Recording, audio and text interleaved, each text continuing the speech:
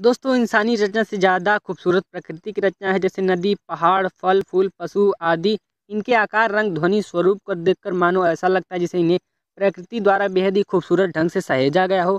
खूबसूरत रंग और आकार का यह अद्भुत मेल आपको इन रंग बिरंगी पक्षियों के स्वरूप को देखने को मिल जाएगा। ये दुनिया के सबसे खूबसूरत पक्षियों में से एक है जो आपको जीवन में शायद ही कभी देखा होगा।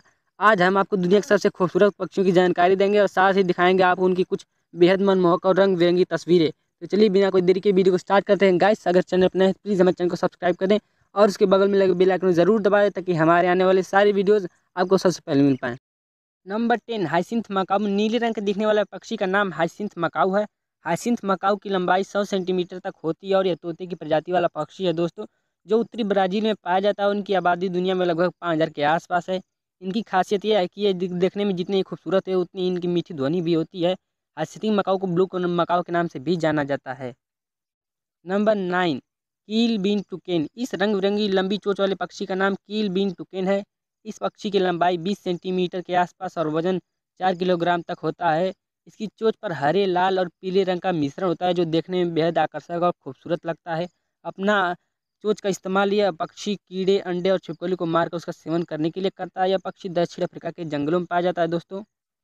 नंबर एट उडक नाम से ही आप जान गए हो कि ये एक बतख की प्रजाति है दोस्तों, जो देखने में बेहद खूबसूरत और लाजवाब होता है। इस पक्षी की खासियत यह है कि यह पानी के अलावा भी यह पक्षी पेड़ पर सुरंग कर अपना घर बना लेता है। यह बहुरंगी पक्षी अपनी खूबसूरती और खासियत से किसी का भी मन मोह लेता है। वुड डक नॉर्थ अमेरिका के जंगलों के दलदल में निवास करता है उनकी प्रजाति और संख्या दुनिया में बहुत ही सीमित है। Number seven, Bohemian waxwing. मध्यम आकार के इस खूबसूरत पक्षी को वोमेन वैक्स विंग के नाम से जाना जाता है, दोस्तों, जो ज़्यादातर उत्तरी अमेरिका, कनाडा, अलास्का और यूरेशिया के जंगलों में पाए जाते हैं। इनकी चोच का आकार छोटा, काले रंग का होता है और सर पर एक कलगी होती है, दोस्तों। इस प्रजाति की पक्षी की आवाज़ बहुत मधुर होती है, जिस वजह से इसे संग बर्ड भी कहा जाता है। Number six, blue jay.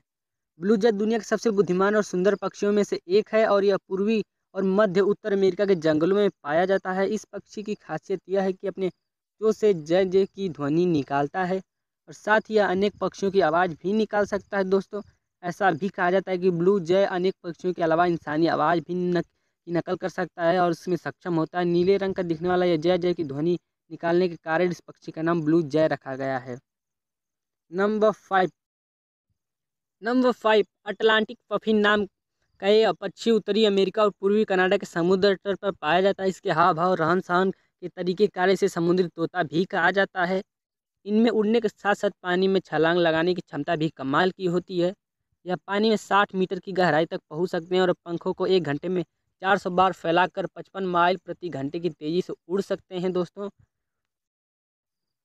Number four, पिकाक। अगर दोस्तों, अगर आप भारत में रहते होंगे तो मोर के बारे में जानते ही होंगे। मोर की खासियत है कि इसके पंख बहुत लंबे, घने और बहुरंगी होते हैं। भारतीय पक्षियों में मोर की प्रजाति बहुत मशहूर है। यह भारत देश का राष्ट्रीय पक्षी भी कहलाता है। सावन का मौसम आते ही मोर पहाड़ी, जंगली या बाग बगीचे वाले इलाकों में आसानी से देखने को मिल जाता है। कहा जाता है कि मोर सावन की बारिश में नृत्य करने बाहर आता है और अपने पूरे पंख फैलाकर नृत्य करता है, दोस्तों।